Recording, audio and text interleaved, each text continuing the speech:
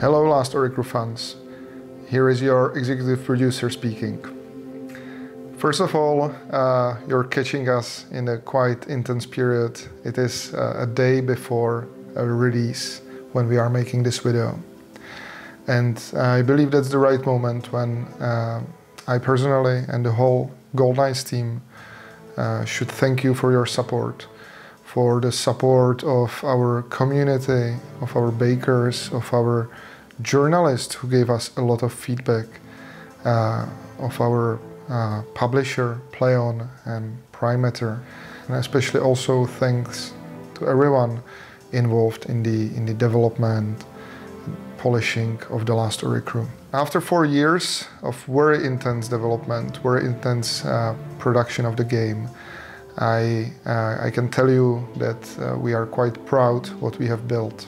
We managed to uh, finish the game that is quite unique in many points. We managed to prove, I believe, to many of you that the dynamic storytelling is something interesting in our in our world that the world and the combination of sci-fi and medieval it's not only uh, to give a nice visual setting but also an interesting combat ideas interesting weapons and also to prove that co-op is something that definitely has its place in this genre of third-person action RPGs.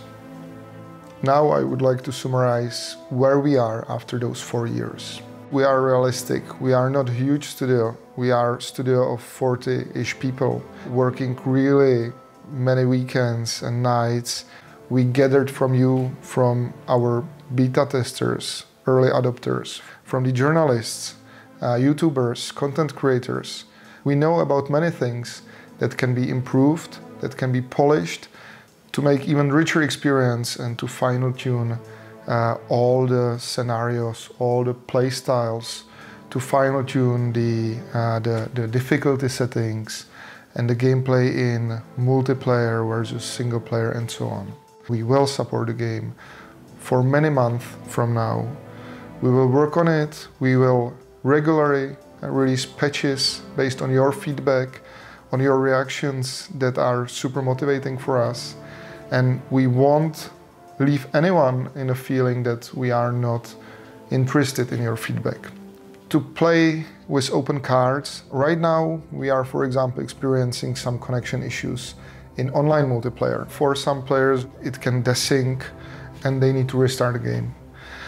It is something we have tested heavily on our side, on publisher's side, but Unfortunately, multiplayer is so dependent on the speed of internet, is so dependent on the, uh, on the combinations of hardware and so on, that those things might happen for some of you.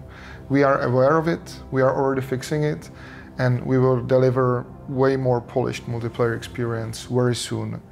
So for now, maybe better is to enjoy the split screen and wait for a week or two uh, but uh, I definitely believe that for many of you it's, it's going to be solid experience as well.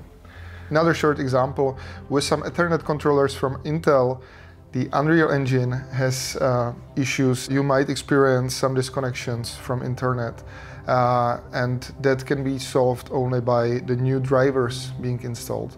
So uh, we are really gathering all feedback we can. And if we cannot solve it by ourselves, we can at least help you to find a solution. In the future, we are also planning to be very transparent about improvements we, we are planning to do. We want to share with you roadmaps and basically let you be part of Wardenia. Enjoy Last Oricru. All your positive reactions will be um, quite uh, motivating for us. And we will work on the game with you, communicate about the game with you, enjoy fun moments in the game with you. We will be happy to see your videos, your reviews. We will be happy to discuss the game with you on our Discord channel and other social medias.